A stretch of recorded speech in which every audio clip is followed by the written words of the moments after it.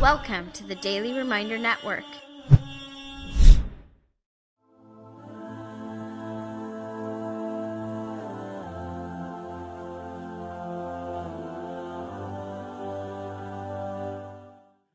Assalamu alaikum wa rahmatullah. This is your brother Farhan Abdul Azeez recording for the Daily Reminder. Now that we're at the end of Ramadan and we're looking back and seeing, subhanAllah, where did the time go? The question that we have to ask ourselves, brothers and sisters, is not how much weight did we lose or maybe how much weight did we gain this Ramadan. Really, the question we have to ask ourselves is have we increased in our awareness of Allah subhanahu wa ta'ala? Are we more aware of Allah in, in our daily actions and when we're you know driving to work, when we're with our family, when we're with our friends, when we're with our colleagues, in every moment of our life, are we more aware of Allah subhanahu wa ta'ala or not? And subhanAllah, brothers and sisters, as we reflect on the end of Ramadan, let this be a powerful moment in our lives where we reflect on our life and think, what, what have we done so far and where are we going? How am I going to draw closer to Allah subhanahu wa ta'ala? Because this Ramadan, I hope that we've all experienced something. Uh, experienced closeness to Allah subhanahu wa ta'ala. We've all worshipped Allah more than we were doing in the previous 11 months.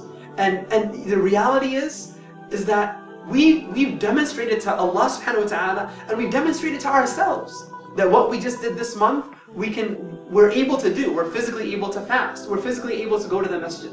And the unfortunate reality is, brothers and sisters, is that many of us, now that Ramadan is coming to an end, we're going to go back to our old ways. We're going to go back to living our life like we used to live. We're not going to be going to the masjid anymore. We're not going to be reading Quran anymore. And, and you know the sign of an accepted deed?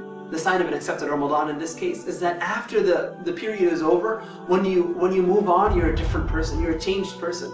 So my humble advice to myself and to everyone else, brothers and sisters, is that we choose at least one action that we were doing this Ramadan. Be it making dua every night, be it reading Quran every day, or being going to the masjid for salah every day something that we were doing this Ramadan, at least one thing. Make it a habit the rest of your life. Make sure every single day now, the rest of your life, until next Ramadan, you're going to continue to read Quran every day, or whatever it is, that you choose. And that way, next Ramadan, you'll choose something else. And inshallah ta'ala, if we do that, we'll continue to draw close to Allah ta'ala. But unfortunately, you know, some people, what they'll do is, you know, they won't even pray the five daily prayers, but they'll go to Taraweeh in the Masjid in Ramadan right? They'll pray the sunnah prayer, which is not even required, but they'll miss the fard prayers, or they won't pray it at all, right? And subhanAllah, you know, it's as if, it's as if, you know, we worship Ramadan, but don't worship the Lord of Ramadan. You know, it's as if we worship Ramadan itself. As soon as Ramadan's over, back to drinking alcohol, going to the club, hanging out with the boyfriend or girlfriend, disrespecting our parents, cheating in exams, lying, stealing, backbiting, you name it. It's as if nothing happened. And you know, subhanAllah, brothers and sisters, you know when the Messenger of Allah fell sick, and he was in his last moments. He was, he was, uh, his, his his wife narrates that the Prophet was lying down with his head between her chin and her chest. And, and in his last moments, he raised his hand and he said, Allahumma rafiq al-a'la. Allahumma rafiq al-a'la. Oh Allah, I asked you, I asked you for companionship with the highest. Meaning, I ask you for companionship with you. I want to be your companion.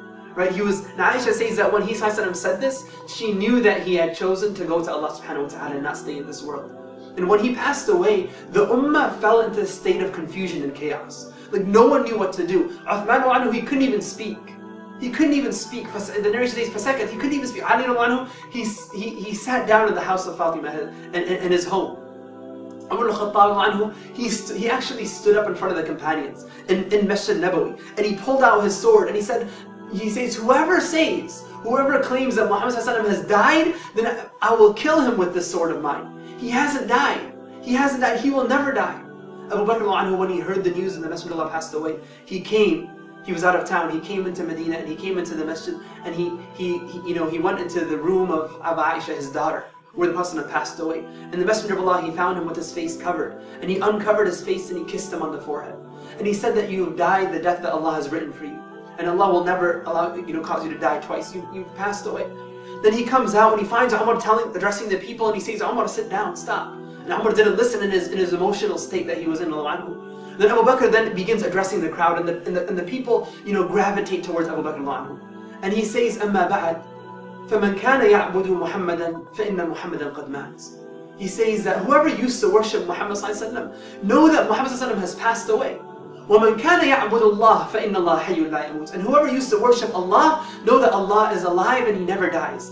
This woke the companions up from their, from their state of shock. And honestly, brothers and sisters, the same can be said for, for our ummah right now. That after Ramadan, we just all go back to sleep. It's as if we forget about Allah subhanahu wa ta'ala, forget about our duties to Allah subhanahu wa ta'ala. And the same reminder needs to be given. من كان يعبد رمضان فإن رمضان قد فات. Whoever used to worship Ramadan, then know that Ramadan has passed. It's, it's, it's done. Ramadan is over, Eid is now here, and we're done. We're, we're over with Ramadan. وَمَنْ كَانَ يَعْبُدُ اللَّهِ فَإِنَّ اللَّهَ حَيٌّ لَا يَمُوتُ But whoever amongst you used to worship Allah subhanahu wa ta'ala, know that Allah is alive and He never dies. And, and, and, and that's my advice to you, brothers and sisters, that we continue worshipping Allah subhanahu wa ta'ala. We choose something this Ramadan. We don't fall into the trap of just, you know, worshipping Allah in Ramadan, but we choose something, at least one thing, and maybe more. And we worship Allah subhanahu wa ta'ala throughout Ramadan with this. With that, I close. We ask Allah to, to, to give us the tawfiq to be amongst those who worship Him throughout the year and draw closer to Him every single day of our lives until we meet Him. Allahumma ameen. Jazakumullah khairan. Wassalamu alaikum wa rahmatullahi wa barakatuh. Donate now.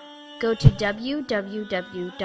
www.thedailyreminder.org slash donate and stay updated by joining our network's social links.